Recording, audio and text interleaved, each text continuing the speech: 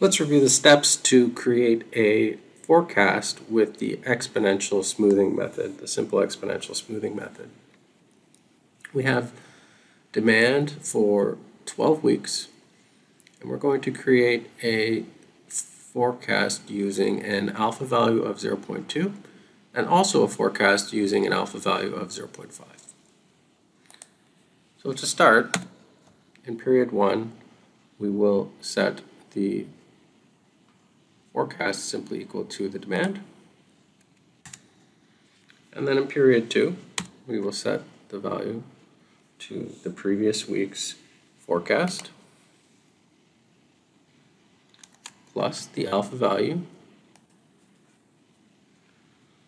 times previous week demand minus the previous week forecast. Now let's put an absolute reference on the row number for the alpha value. Let's also put an absolute reference on the column for the demand. That's so that when we copy this formula over for the exponential smoothing method with the alpha value of 0.5, um, we can use the same formula. So now let's copy the formula down. And we'll also obtain a forecast for period 13.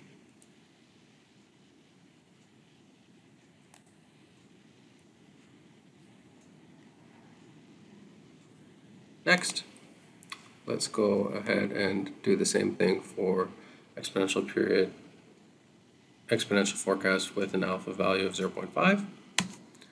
We'll set the first week forecast to the demand and then we can use the formula that we had already constructed for alpha equals 0.2.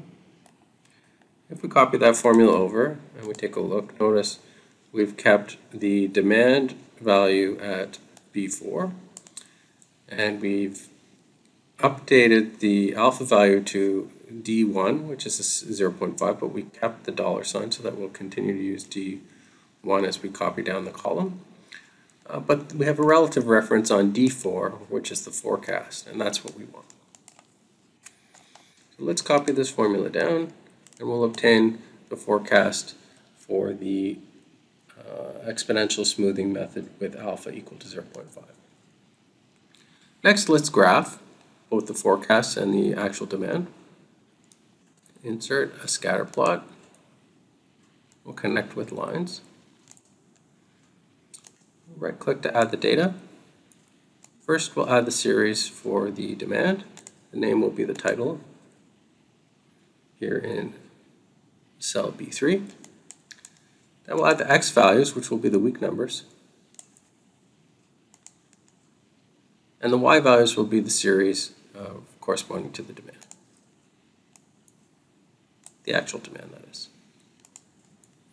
Click OK, and we'll add another series. This series name will be the exponential with 0.2 alpha. We'll set the series week numbers to be the x values, just as before. And then the y values will be the series values in column C.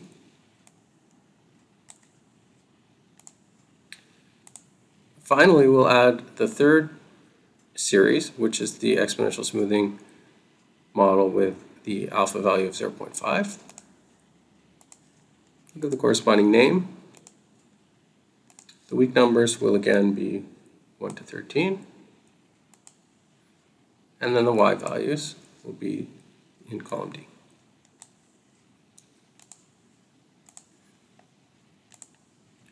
Select OK. Let's change the range for the vertical axis.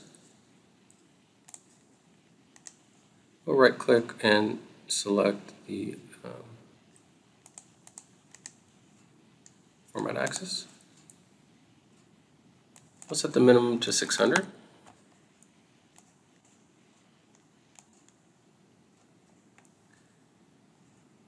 Now let's put axes, horizontal label for the week numbers, and then on the vertical axis, actual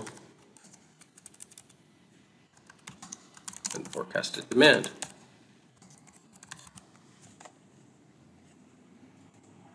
Also, let's add a legend on the right-hand side. There we can see our graph of the demand and the exponential smoothing forecast. As we can see, the orange forecast, the exponential smoothing method with an alpha value of 0.2, creates a more smooth forecast,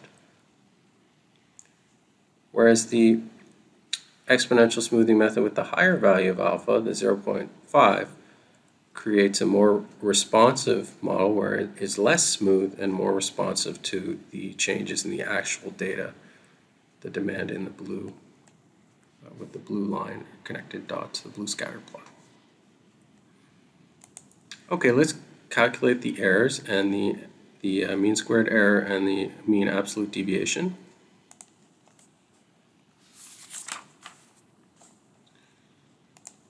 Okay, the error is simply going to be the difference between the demand and the forecast.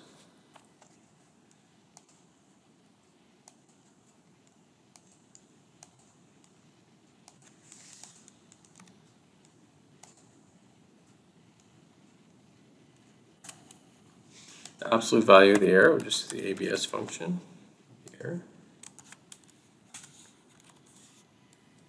The mean squared error, what we're going to do is we're going to use the sum of squared formula. We'll take the error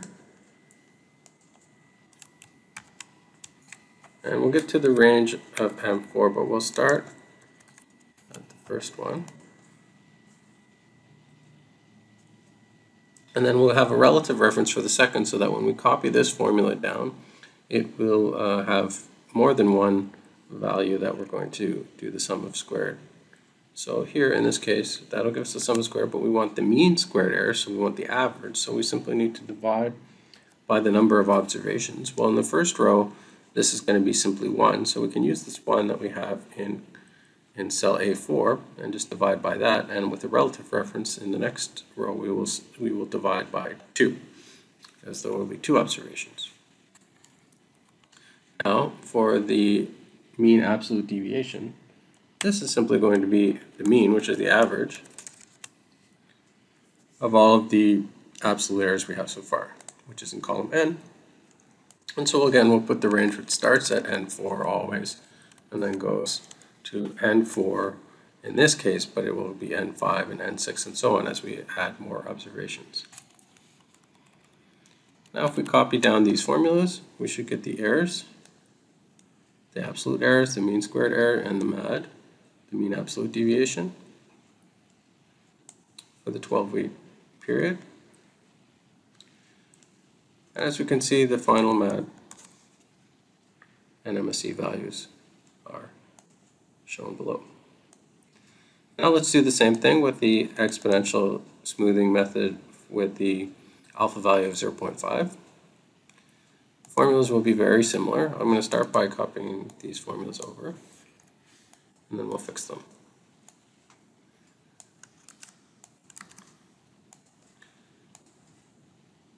So for the first one, we actually want the difference between the demand and the forecast for alpha equal to 0.5. The absolute error will be the same thing, the uh, absolute value of the error that we just computed. The mean squared error will now be instead of M4, we're going to use R4.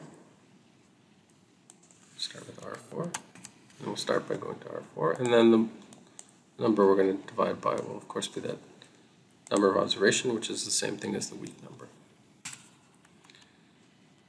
And then finally, the absolute error, we'll need to use the S column, so it'll be S4 to S4. Now if we copy these formulas down,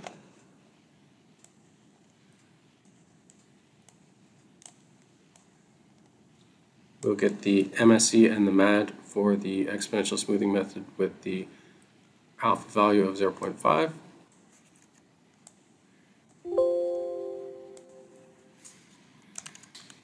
If we take a look at these measures, we can see that the MAD of 65.34 is lower than the MAD for the exponential smoothing method with the alpha value of 0.2.